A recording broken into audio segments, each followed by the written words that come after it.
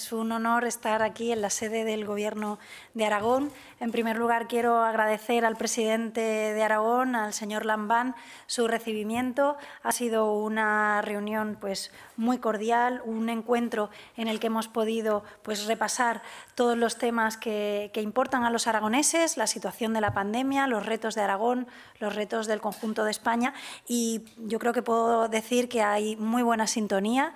Ciudadanos ha demostrado en todas las legislaturas que somos un partido útil, que somos una oposición responsable, que desde el principio hemos tendido una mano pero exigente y la verdad es que hemos tenido una buena respuesta por parte del señor Lambán. ¿Hemos conseguido cosas desde la oposición?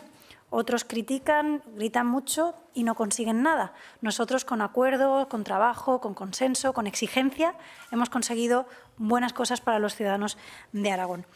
Yo creo que lo más relevante es destacar que Ciudadanos ha apoyado el presupuesto de la Comunidad de Aragón porque hemos conseguido líneas naranjas muy importantes para los ciudadanos. Quiero destacar algunas de ellas, pero que son sellos naranjas, que son sellos que todo el mundo puede identificar con la influencia y con la ideología de nuestro partido.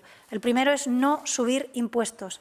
Las familias, las pymes y los autónomos no pueden sufrir una subida de impuestos eh, en plena pandemia y hemos garantizado que en Aragón no se van a pagar más impuestos. Hemos conseguido congelar eh, eh, los impuestos en Aragón. La segunda es blindar la educación concertada. La educación concertada no se toca, si acaso se apoya con más eh, recursos para garantizar la libertad de las familias aragonesas para elegir la educación de sus hijos. El tercer punto es muy importante para Ciudadanos y muy importante para los ciudadanos, las empresas y las pymes de Aragón, que es que hemos conseguido impulsar esa ley de simplificación administrativa, esa ley que va a luchar contra el Aragón del vuelva usted mañana y que va a suponer un antes y un después para la economía, para la agilización de procesos y de trámites, para las familias, pero también para los negocios y las pymes en Aragón. También hemos conseguido otras cuestiones como ayudas a autónomos y a pymes. Es verdad que un gobierno autonómico puede llegar hasta donde llega y que realmente lo que necesitamos son ayudas directas por parte del Gobierno de España. desde aquí quiero volver a reivindicar y exigir al Gobierno de España que apruebe un paquete ambicioso de ayudas directas porque es lo que necesitan muchos negocios y muchas pymes para poder aguantar. Y por último también pues quiero destacar que se han conseguido dentro de esas líneas naranjas que hemos conseguido incorporar en los presupuestos, pues financiar la ley de familias y apoyar la conciliación, proyectos de digitalización y modernización y también pues apoyo a la ganadería extensiva y a la apicultura. En definitiva, en Aragón podemos tener el mejor ejemplo de lo que es Ciudadanos, que es política útil, que es política pensada en los ciudadanos y que es dejar a un lado los intereses de partido y más en plena pandemia, cuando muchos ciudadanos ven la tele o leen un periódico y lo que quieren ver es a políticos llegando a acuerdo y aportando soluciones. Esto mismo que hemos conseguido en Aragón, que ha conseguido nuestro compañero, nuestro portavoz en, en, el, Parlamento de Aragón, Daniel Pérez, y el resto de nuestros compañeros, es lo que hemos intentado hacer a nivel nacional. Y es verdad que hemos conseguido algunas cosas, es verdad que hemos conseguido frenar también determinadas subidas de impuestos, hemos conseguido mejorar algunos decretos, pero quisimos que Sánchez hiciera lo que ha hecho Lambán, que Sánchez siguiera el ejemplo de lo que está consiguiendo Lambán, que es tender la mano hacia la parte moderada del hemiciclo en el Congreso de los Diputados, pero Sánchez prefirió a Esquerra y a Bildu. Yo creo que la fórmula naranja de Aragón es la que funciona. La fórmula naranja de Aragón es la que deberíamos tener en el conjunto de España, que es acuerdos sensatos, moderados y que creo que son buenos y reconocidos por la ciudadanía. También quiero comentarles que en el Ayuntamiento de Zaragoza, como ustedes saben, nosotros también eh, gobernamos y hoy mismo se aprobará y se aprueba el presupuesto de 2021.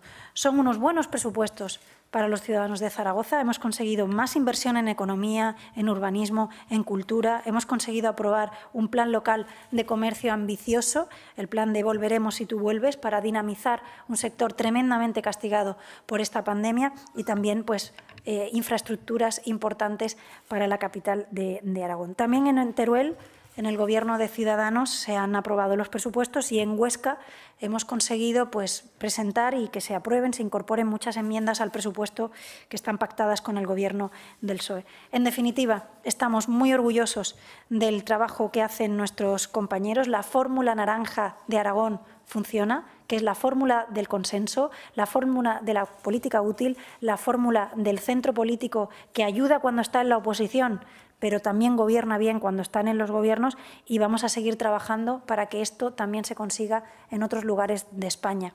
Eh, celebramos este año el, aniversario número 275 del nacimiento de Goya y lo que queremos es precisamente que no se siga replicando esa España a garrotazos que pintó con maestría en Goya, sino lo que queremos es una España dándose la mano, una España de reencuentro, una España de, de consenso, sobre todo en unos tiempos tan difíciles como este.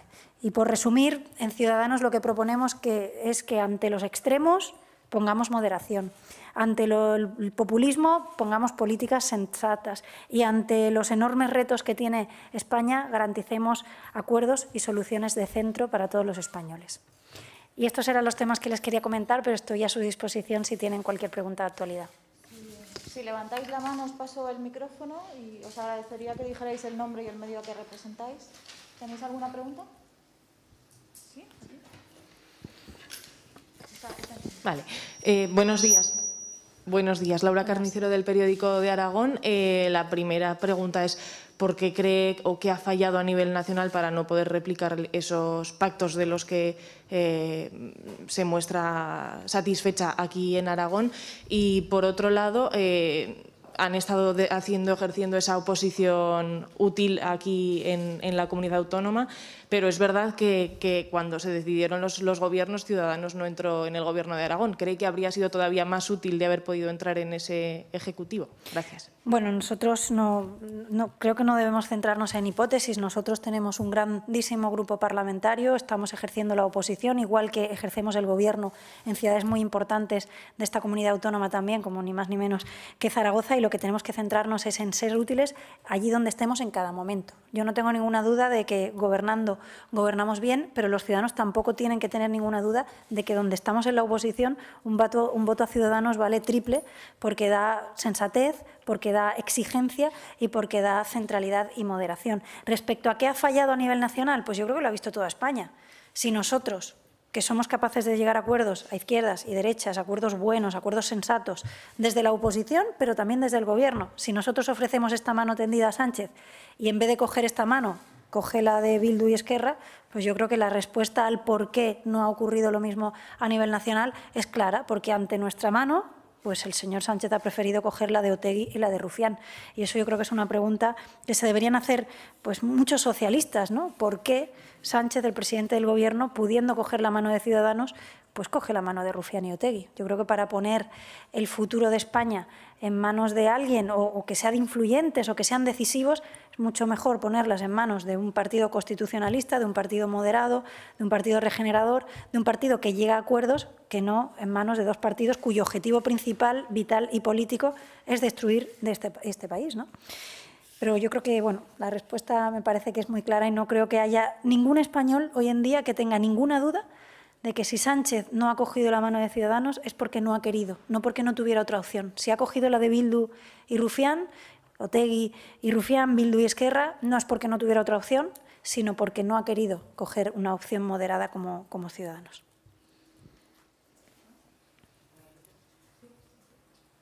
No, quería que... Hola, eh, Pepe, Las Marías de Radio Zaragoza de la SER. Tres preguntas muy concretas. Hace unos días hubo unos eh, rumores sobre aproximación de PP y Ciudadanos y además se puso como Aragón como uno de los ejemplos donde podía haber algún tipo de, no sé si unión, fusión, coalición, no sé en qué ha quedado eso, si ha quedado en algo. Y luego dos preguntas de temas nacionales. Conocer su opinión sobre la vacunación de las infantas en los Emiratos y también eh, la posición de Ciudadanos en relación a qué hay que hacer en Semana Santa sobre apertura o no de, pues, de, las, de las comunidades pensando en, que queda menos de un mes. Gracias.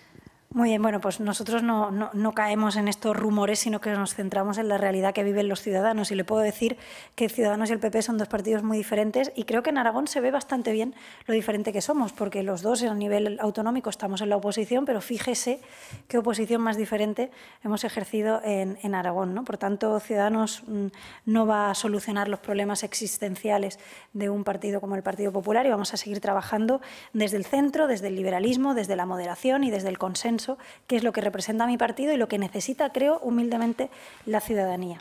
Respecto a la segunda de las preguntas, miren, muchas personas mayores están en sus casas sin haberse podido vacunar y están viendo cómo pues, algunos pueden irse a otros países a vacunarse y otros políticos aquí en España se saltan la cola, su cola, para acceder a una vacunación. Por tanto, mm, yo creo que si hay un partido que ha sido claro y diáfano y que ha pedido un compromiso ético a todos los partidos para apartar a esos ladrones de vacunas o roba vacunas, es Ciudadanos. Y lo que estamos esperando es que el PP y el PSOE hagan lo mismo porque ellos lo que están haciendo es mantener a decenas de cargos de sus partidos que se han saltado la cola y que para nosotros es una forma de corrupción, porque hay muchas personas mayores de 70, de 80 años que todavía están en sus casas sin salir, sin ver a su familia, dejando de hacer muchas actividades porque no están tranquilos porque todavía no están vacunados. Y respecto a la última de las preguntas, esto es una cuestión muy importante. Yo, si ustedes eh, siguieron la última sesión eh, parlamentaria en la que vino a comparecer el señor Sánchez, le insistí muchas veces en que dijeran qué querían hacer desde el Gobierno con la Semana Santa. Ya tuvimos 17 Navidades que se han traducido en miles y miles de desgracias para muchísimas familias. No podemos tener 17 Semanas Santas, no podemos seguir insistiendo en este error. Así que, desde luego, como Ciudadanos lleva haciendo desde el principio de la pandemia, nosotros pedimos que haya un plan nacional con las indicaciones y las restricciones marcadas desde nacional para que no haya una guerra de comunidades autónomas, para que no haya tanta incertidumbre en la ciudadanía y tanto desconcierto en los sectores económicos. Así que plan nacional poniendo eh, los datos sanitarios por delante y, desde luego, pues preparándonos para la recuperación económica, porque lo que no puede ser tampoco es que muchos comerciantes, muchos hosteleros, muchas pymes sigan viendo restricciones y no vean ayudas directas. Si hay que hacer restricciones, que entendemos que, Sanidad eh, las implantará porque los datos así lo exigen, tienen que ir necesariamente acompañadas por ayudas directas. Ya esto no vale eh, con las fórmulas que en un principio, en los primeros momentos de la pandemia, se pusieron encima de la mesa, que eran básicamente pues, ERTES y ICOs que hay que seguir manteniéndolos y prolongándolos seguramente, pero no son suficientes. Necesitamos ayudas directas porque nuestro tejido productivo no aguanta un año y medio de restricciones sin ayudas directas. Por tanto, vuelvo a insistir en la necesidad de que Sánchez pues, deje de hacer anuncios vacíos como el que hizo la semana pasada de 11.000 millones que nadie sabe de dónde van a salir y cómo van a llegar y que se pongan a trabajar porque esto está siendo una sangría de empleos, una sangría de negocios y esto hay que frenarlo ya.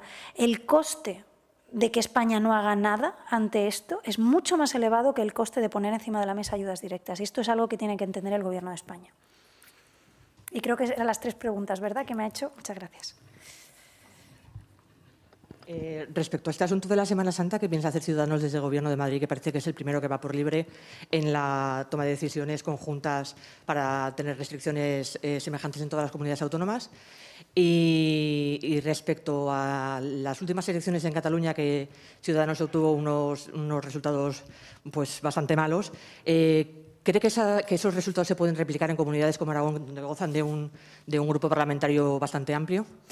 Bueno, empezando por las segundas de, las preguntas, nosotros seguimos trabajando con mucha fuerza. Yo cuando me acerqué por primera vez a este partido en el 2010 teníamos solo tres diputados en el Parlamento de Cataluña. Desde entonces hemos estado luchando, trabajando, hemos tenido eh, subidas, bajadas. Es decir, este proyecto, como pueden ver ustedes en Aragón, está muy vivo. Este proyecto es muy sólido. Este proyecto es necesario y creo que cada vez además hay más ciudadanos que ven la importancia de tener un proyecto decente de un proyecto moderado, un proyecto valiente, un proyecto reformista. Creo, insisto, que en Aragón se ve perfectamente un partido que puede estar gobernando en ciudades muy importantes pero, y lo hace bien, pero también allí donde está la oposición es claramente una oposición diferente. Ustedes eh, se imaginan la bueno, la aceptación que tiene mucha ciudadanía el que un partido que está en la oposición, que no está en los sillones del gobierno, sea responsable, tienda la mano, consiga cosas. Esto es algo que no se había visto hasta ahora en la política nacional. Estamos acostumbrados a, lo que el PP y el PSOE han querido implantar en la sociedad, que si estás, si estás en la oposición, no tiendes la mano al gobierno ni apoyas en, y apoyas en nada. Pero cuando estás en el gobierno pides apoyo. Mire, el Partido Socialista no está apoyando en nada en el Ayuntamiento de Zaragoza, tampoco han querido eh, apoyar muchísimas medidas. Solo hay un partido que puede decir lo mismo cuando está en el Gobierno y cuando está en la oposición. Y creo que el PP y el PSOE pues, tienen discursos distintos. El PSOE puede pedir apoyos cuando están en el Gobierno, pero luego en Andalucía, por ejemplo, no apoyan a un Gobierno donde no estén ellos. Yo creo que hay un partido de verdad que está poniendo por delante claramente, además sin complejo en ninguno, sabiendo que esto es bueno y que es correcto, el interés general de los ciudadanos y lo vamos a seguir haciendo. Yo como presidenta del partido le puedo decir que estoy muy orgullosa de lo que estamos haciendo y que, y que tengo y tenemos muchísima fuerza para seguir adelante y que en Aragón además es muy buen sitio para ver lo fuerte y lo importante y lo decisivo que es Ciudadanos. Y respecto a la primera de las preguntas, mm, mi compañero Ignacio Aguado, que es el vicepresidente de la Comunidad de Madrid, ya ha dicho que, que es necesario que se llegue a un plan nacional, a un acuerdo y que evidentemente los criterios sanitarios son los que marcan las restricciones. Está claro que todos tenemos muchas ganas de volver a la normalidad, todos tenemos muchas ganas de recuperar la economía, pero como bien ha dicho también mi compañero, pues necesitamos un plan coordinado a nivel nacional, necesitamos que si hay restricciones haya ayudas directas y también, obviamente, que los criterios sanitarios los tiene que marcar la autoridad sanitaria.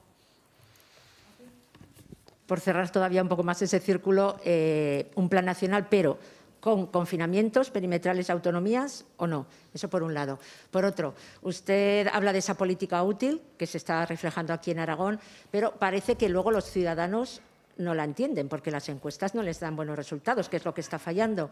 Y por último, ayer Ander Hill, el portavoz del PSOE en el Senado, confirmó en la noche en 24 horas que están negociando con ustedes para una moción de censura en Castilla y León. Me gustaría que ratificara, si es así, lo que él, él dijo y dijo además que las negociaciones estaban muy avanzadas. ¿En qué punto están esas negociaciones? Mire, yo mm, de verdad, o sea, no, no, no voy a comentar cuestiones que, en fin, que se alejan de lo que le interesa a los ciudadanos y de la realidad. ¿no? Nosotros estamos muy centrados en, como ya le digo, allí donde gobernamos, gobernar bien, porque nosotros somos conscientes de lo difícil que es gobernar en un momento como este. Por eso aquí en Aragón pues, tendemos la mano porque entendemos la dificultad que puede tener un gobierno eh, a la hora de afrontar una crisis como esta y no nos vamos a, eh, ya le digo, igual que me hacía antes eh, preguntas sus compañeros, no nos vamos a, despistar en, en declaraciones y en rumores Em, sin fundamento. ¿no? Pero mm, respecto al tema nacional, que creo que es el más importante. Nosotros lo que decimos es que las medidas que se tomen en Semana Santa no pueden ser medidas derivadas de una guerra entre comunidades autónomas, es decir, medidas tan claras como los confinamientos perimetrales, lo lógico es que se tomen a nivel nacional. No tiene ningún sentido que una comunidad autónoma tome una decisión y una comunidad autónoma tome de al lado tome la contraria. Es verdad que ha ocurrido en este país que como el Gobierno de España no ha ejercido no ha ejercido su responsabilidad, no ha hecho planes nacionales y lo vimos en Navidades, pues es verdad que luego cada comunidad autónoma tiene que tomar sus propias decisiones en función de los datos que tenga, en función de la situación que se le dé. Pero yo por eso digo que en vez de hacer una guerra de partidos, de a ver qué partido pide cada medida, o una guerra de comunidades autónomas, de a ver qué comunidad autónoma propone una medida sanitaria, le pido al Gobierno de España que haga un plan de salud para Semana Santa, que no haya una guerra de declaraciones ni entre diferentes partidos ni entre diferentes comunidades autónomas. Pero eso solo lo puede garantizar el Gobierno de España. Creo que los ciudadanos, los empresarios, los trabajadores, las familias van a agradecer que tengamos claramente un plan nacional y que se diga claramente qué es lo que se va a poder hacer en Semana Santa. No lo tuvimos en Navidad. No lo tuvimos. Las consecuencias han sido desastrosas, no solo desde el punto de vista sanitario, sino desde el punto de vista también económico, en los dos ámbitos. Y por tanto yo espero que el Gobierno de España rectifique, que no vuelva a hacer lo mismo que hizo en Navidad.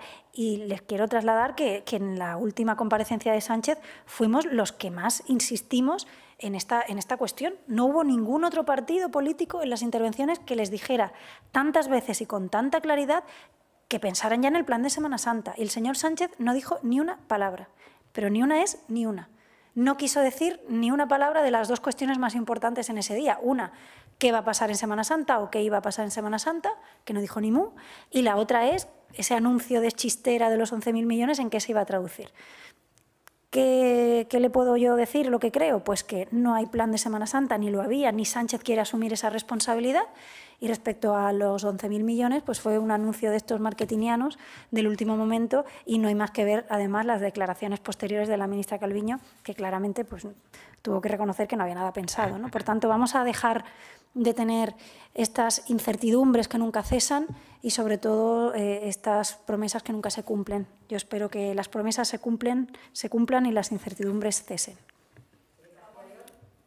Ah, de Castilla y León ya le he respondido al principio que no voy a entrar de verdad en estas declaraciones. Nosotros en Castilla y León, además lo dije el otro día en el Congreso, tengo previsto también hacer una visita como la que estoy haciendo hoy, institucional, a Castilla y León en las próximas fechas, a reunirme con el presidente Mañueco, a reunirnos con nuestro equipo y, y bueno, nosotros vamos a seguir trabajando porque de verdad creo que en un momento como el actual, en el que lo importante es hablar precisamente de si va a haber ayudas directas o no, si se va a poner en peligro eh, la concertada o no, si se va a simplificar la administración o no. Yo creo que no podemos desviarnos de verdad con los intereses del PSOE. Yo creo que al PSOE le interesa mucho poner mm, temas encima de la mesa que tapen lo importante. Creo que el PSOE pues hoy prefiere que yo hable de determinados rumores que, están infundados antes de que sigamos como un martillo pilón diciéndoles que tienen que hacer un plan de Semana Santa y que tienen que dar ayudas directas a los comerciantes. Por tanto, nosotros no vamos a, caer en ese juego en el que el Partido Socialista tiene, tiene mucha experiencia a nivel nacional.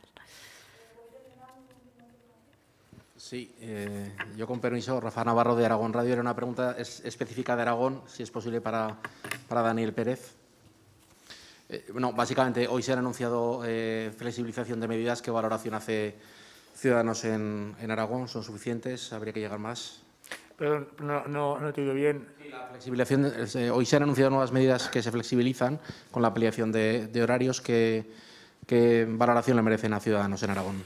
Bueno, todo lo que sea flexibilizar, ampliar horarios que permitan que las pymes, la hostelería sobre todo, y la gente pueda recuperar su libertad de movimientos, bienvenido sea siempre y cuando esté avalado por la autoridad sanitaria. Es decir, en todo momento, nosotros no hemos hecho nunca esto una cuestión política. Esto no es una cuestión que se decida por interés de un partido, de un gobierno, de una oposición. Esto es una autoridad sanitaria, quien sabe de esto, quien debe dar las pautas y, por supuesto, tomar eh, las decisiones que haya que tomar en todo momento sin pensar en si dan votos, si no dan votos, hay que hacer lo que toca y hay que estar, por supuesto, tomando esas medidas, esas decisiones, pero apoyando en todo momento a quien sufre los efectos.